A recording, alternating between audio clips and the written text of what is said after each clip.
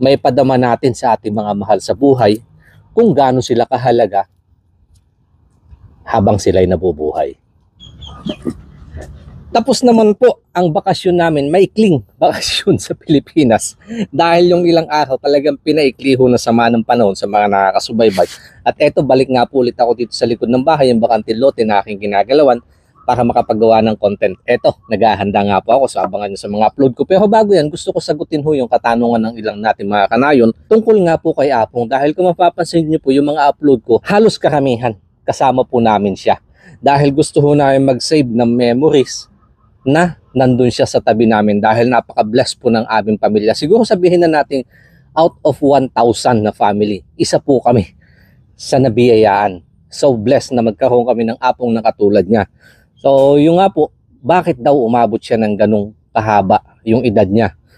Hindi wala naman talagang mixture or sikreto na katulad na halimbawa magbe-bake ka ng cake, ilalagay mo yung isang tablespoon na asukal, ilalagay mo yung yeast, meron siyang measurement para makuha mo yung tamang timpla. Sa buhay naman po ng tao, walang ganun. Kaya walang makakapagsabi kung ano talaga ang dahilan kung bakit siya tumagal ng ganong edad. Pero sa tingin po namin, na pag-usapan namin sa aming pamilya, dahil sa pagkahilig niya sa gulay at saka yung workout niya. Ibig ko sabihin, pag nandun siya sa amin, nung pinapayagan pa namin, actually ginagawa pa rin sana niya, gagawin pa rin sana niya ngayon, pero hindi na ho pinapayagan ng aming tatay, ng mga anak niya. Yung pupunta siya sa bukid, maghahanap ng kung ano-anong pwede mapakinabangan, din dadalhin niya sa bayan, ibebenta. So nagkakaroon siya ng workout, yun na din po yung hilig niya, katulad po ng ugat ng gabi, yung suso, yung mahilig po siya pumunta sa ilog, manguha niyan. At saka yung ligaw ng palaya, yung kung anong mahalukat niya or mahanap niya sa bukid. Then dadalhin po niya sa palengke, ibebenta, yun na din po yung kanyang pang-ulam. So yun po yung nagbigay sa kanya ng isang dahilan, nakikita po namin kung bakit humaba yung buhay niya ng ganun. At yun din po yung isang pinaghugutan ko kung bakit yung mga content ko, yung mga upload ko, more on gulay.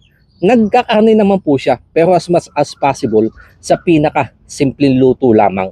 Ngayon po, paa ng manok yun lang yung favorite niya then the rest gulay kung totoo nga lang po yung sinasabi nilang anting-anting gusto ko din itong kunin dahil sino ba naman ang hindi maghahangad na magkaroon ng ganong kahabang buhay sa mga hindi nga po pala nakakaalam nag-turn po siya ng 104 noong June 11 2024 at sa edad po niyang yan ha nagkaroon man siya ng karamdaman pero napagdadaanan po niya ito. Hindi katulad nung iba na nababalitaan, nakahiga na lang o kaya wala ng lakas para makapaglakad, inaalagaan. Siya po hindi. Kung makikita nyo nga po yung pag-uwi namin, gala siya ng gala kung saan saan nakakapunta, kasagsagan ng ulan noon, pero pagkatapos, pag tila ng ulan, dyan na naman siya nagwawalis. Kaya ginawa po siya namin siya na sarili niyang bahay dahil ayaw, ayaw niyang makisama sa iba.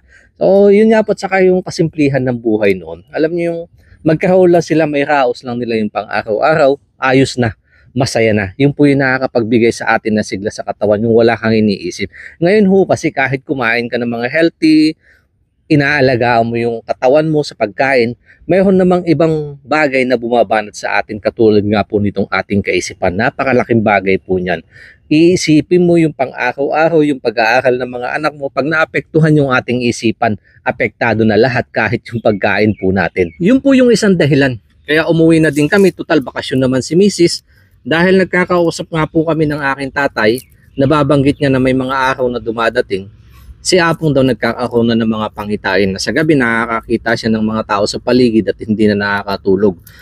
Hindi naman ho sa pinagdadasal. Siyempre sino ba naman na may kagustuhan nun? Pero paano kung dumating yung araw na hindi inaasahan, wala kami sa tabi niya. So, napakabigat. Pero,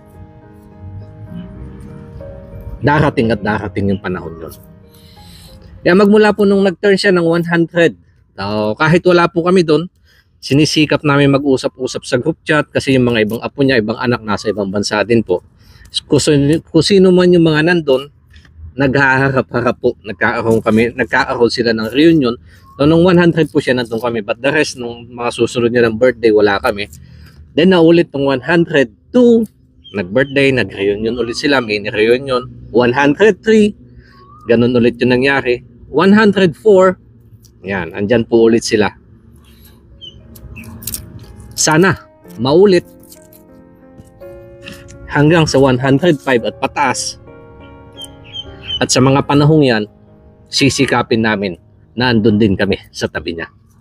Katulad nga po na nabanggit ko kanina, sino ba naman ang hindi maghahangad na magkaroon ng ganong kahabang buhay? Pero sa ngayon, wag ho muna nating isipin yon. Ang mahalaga, may padama natin sa ating mga mahal sa buhay kung gaano sila kahalaga habang sila'y nabubuhay.